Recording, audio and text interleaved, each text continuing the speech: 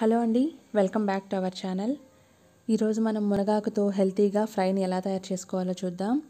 ఈ ఫ్రై రైస్లోకి చాలా బాగుంటుంది అలాగే రోటీస్లో కూడా సైడ్ డిష్గా బాగుంటుంది. మెయిన్గా మునగాకులో ఉన్న హెల్త్ బెనిఫిట్స్ వల్ల మనకు చాలా పోషక విలువలు అనేది అందుతాయి. ఇప్పుడు ఎలా ప్రిపేర్ చేయాలో చూద్దాం. కందిపప్పుని ఒక పది నిమిషాల పాటు నానబెట్టుకుంటున్నానండి. తర్వాత వాటిని బాయిల్ చేసుకుందాం. కుక్కర్లో ఒక విజిల్ వరకు అయినా పెట్టుకోవచ్చు కానీ ఇలా పెట్టడం వల్ల పప్పు అనేది మనకి కావలసినంత మేరకే ఉడుకుతుంది. అంటే చిరిగిపోకుండా మనకి పప్పు పప్పులానే ఉంటేనే చూడటానికి బాగుంటుంది తినడానికి టేస్ట్ కూడా బాగుంటుంది. దీన్ని ఒక ఫిఫ్టీన్ ట్వంటీ మినిట్స్ ఒక seventy to seventy five percent boil అయ్యేంత వరకు మరిగించుకున్న తర్వాత ఇందులో క్లీన్ చేసి ఉంచుకున్న మునగాకునంతా కూడా ఇందులో వేసుకొని పప్పుతో పాటు ఉడికించుకోవాలి. ఇలా మునగాకు ప- పప్పు అంతా కూడా బాగా ఉడికిపోయిన తర్వాత అంటే పప్పు అనేది చిరిగిపోకూడదండి. ఇలా ఉంటేనే బాగుంటుంది. మీరు ఒకవేళ కుక్కర్లో ఉంచుకోవాలి అంటే పప్పును ఫస్ట్ ఉడికించేసుకొని తర్వాత ఈ మునగాకును కూడా సపరేట్గా ఉడికించుకొని తర్వాత రెండు మిక్స్ చేసి చేసుకుంటే అప్పుడు నీట్గా వస్తుంది కర్రీ అనేది. పప్పు అనేది ఇలా ఈ విధంగా ఉడకాలి. తర్వాత ఇదంతా పక్కన పెట్టుకొని ఒక బాండిని పెట్టుకొని అందులో ఒక టేబుల్ స్పూన్ ఆయిల్ వేసుకున్న తర్వాత మనం ఇందులో పోపు దినుసులన్నీ వేసుకోవాలి.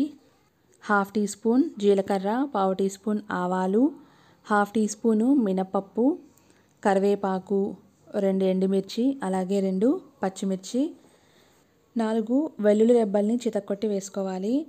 వెల్లుల్లి రెబ్బలు ఎక్కువ వేసుకుంటే ఏ ఆకుకూర ఫ్రైలో కానీ పప్పులో కానీ టేస్ట్ చాలా బాగుంటుంది.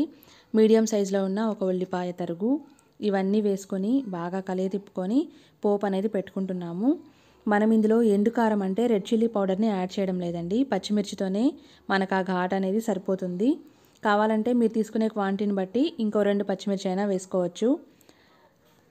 ఈ పోపు మిశ్రమంలోనే ఒక టీ స్పూన్ ఉప్పుని అలాగే పావు టీ స్పూన్ పసుపుని వేసి కలిగి దిప్పుకొని మూత పెట్టుకొని ఒక రెండు నిమిషాల పాటు ఈ ఆయిల్లోనే మీడియం ఫ్లేమ్లో మగ్గించుకోవాలి.